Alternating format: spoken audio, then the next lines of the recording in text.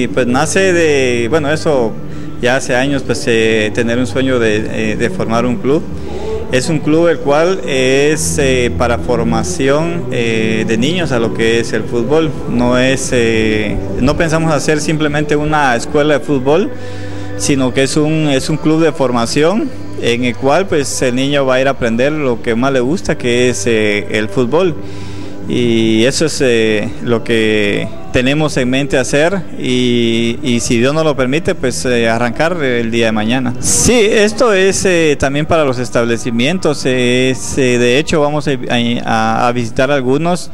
para mostrarles la idea, ya que a varias instituciones se les mostró la idea y gracias a ellos pues también vamos a arrancar este, este proyecto, este proyecto que es un club y pues eh, primero Dios eh, eh, todo vaya bien, pero sí es también para los establecimientos que deseen llevar a sus grupos, así como los maestros de educación física, pues es la invitación también para ellos. Verá, esta siempre tenemos lastimosamente en muchos clubes a nivel nacional, llegan muchos niños y jóvenes que son formados a veces en otros lados y lo que hace el club es que lo contrató un año al niño le sale una oportunidad o al joven le sale una oportunidad y lo primero que hace es cobrar el derecho de formación. Entonces, lo que queremos en él es eh, formarlo, primero como persona, eh, formarlo como atleta y de último formarlo como futbolista. Y que el mismo club, con las personas que nos estén ayudando, eh, buscarle a él una oportunidad en cualquier lado que pueda haber, siempre futbolísticamente hablando y pues darle a esa oportunidad al joven que, que, se demuestre en cualquier, en cualquier institución, en cualquier equipo. Y esa es la idea del club, eh, formar al jugador, pero no solo formarlo y que se vaya, no, formarlo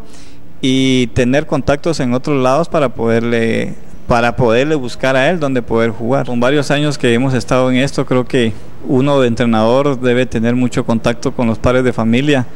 Eh, llegan muchos niños, como usted dice, con gran entusiasmo eh, después el niño decae y no es precisamente porque ya no le gusta el fútbol,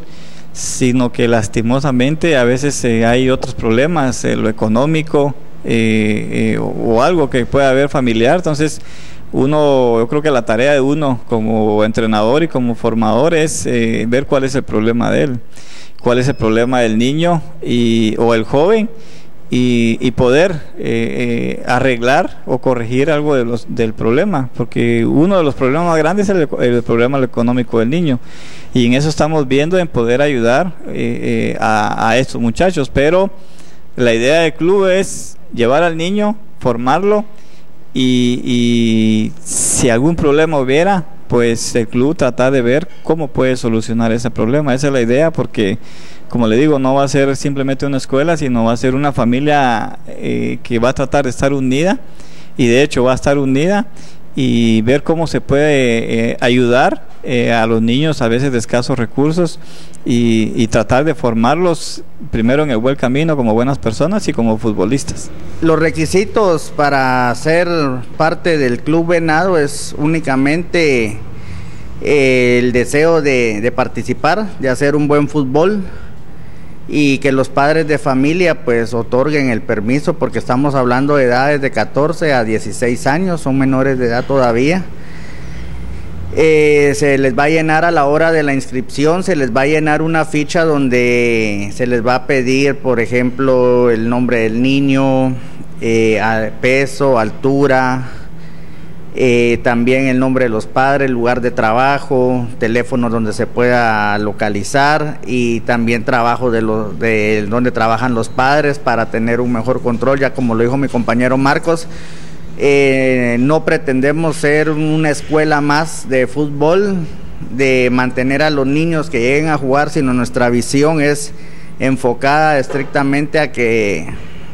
llegue a un nivel profesional, buscarles una oportunidad dentro del fútbol guatemalteco.